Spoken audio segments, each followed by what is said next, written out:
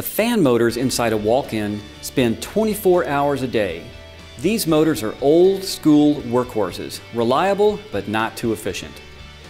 These older motors are rapidly being replaced by new, high-tech ECM motors that do the same job for one-third the cost. That's a two-thirds savings all day, every day, 24-7.